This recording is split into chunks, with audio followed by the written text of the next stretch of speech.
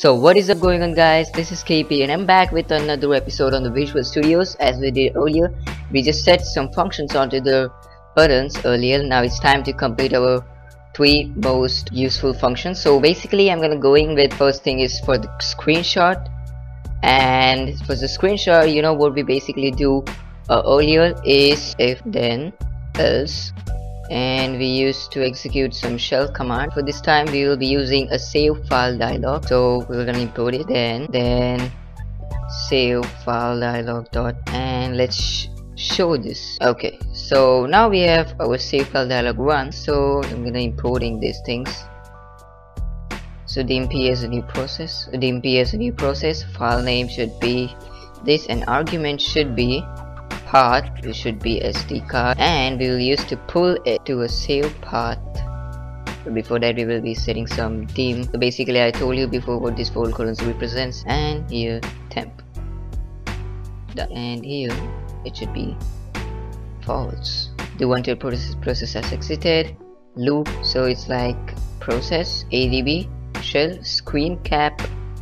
That means screen captures p to this part and then we will pull it by using adb um, the same file to our temp path that is we have browsed by using the save file dialog. Now let's go for for the sideload function. We have used i've written these two statements and then these two statements go to the sideload same thing as we did before. Uh, so first thing we will be browsing zip file. So for that we will be using open file dialog. Now we'll be showing it and then this process so the MP is a process adb sideload pass on. The pass on will be variable we'll be using here. Okay so this was the sideload function but it's actually basically not correct.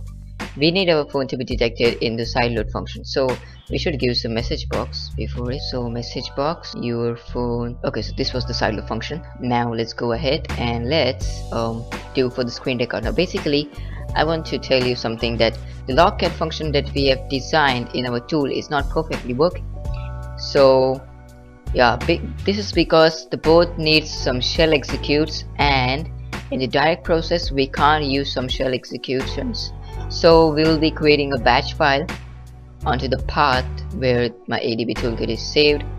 So we will creating a new batch file dot batch we will be editing with the notepad plus plus at wait echo of so if you guys don't know how to program a batch file i have left a link in the description then we will be typing here color dot colorway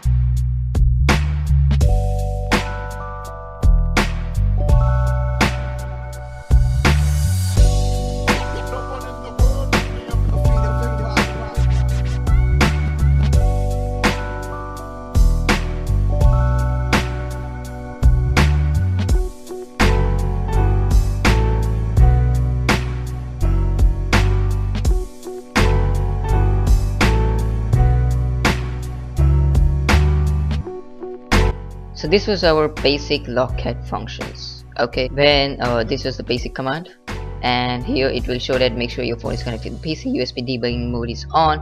ADB drivers are perfectly installed. And here is some note that will all logs will save will uh, all logs will be saved in the backups folder. And press enter when you are done. And it will execute this kind of function. Now for the logcat we will be removing removing this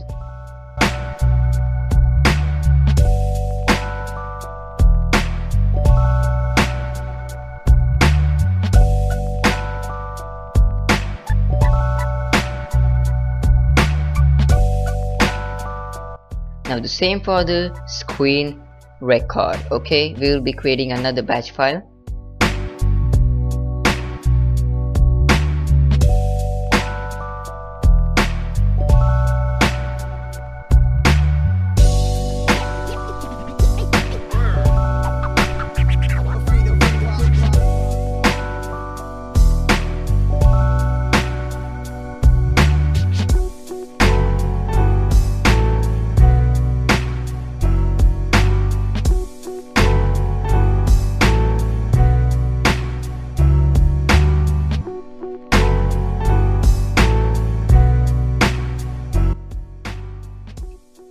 so this is our screen recording function. It's been done perfectly.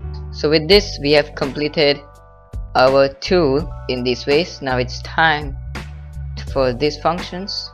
And this will be done by me later on okay? So this in this only I need to set some web page and and some source. To create the open source I'll be going to file and the export template.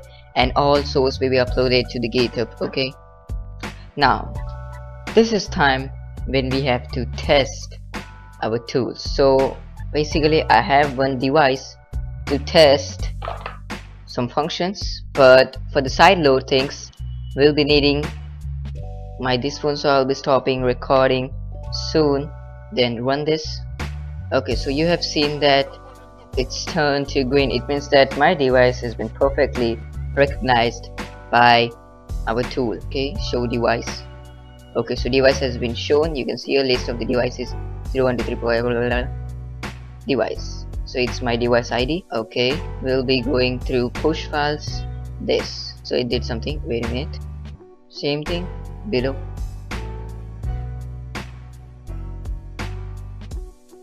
Now let's start it. Okay so file has been pushed really. Uh, let me pull it again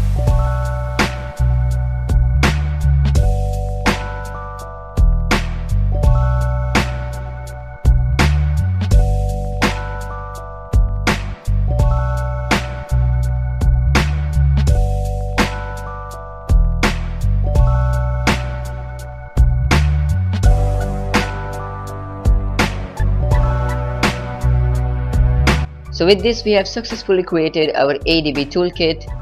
And now it's time to set up this about functions that uh, I'll be doing later uh, by my own and will be soon publish it uh, and make it as an open source. As you can see it's here an open source project. So thank you guys for, for watching my video.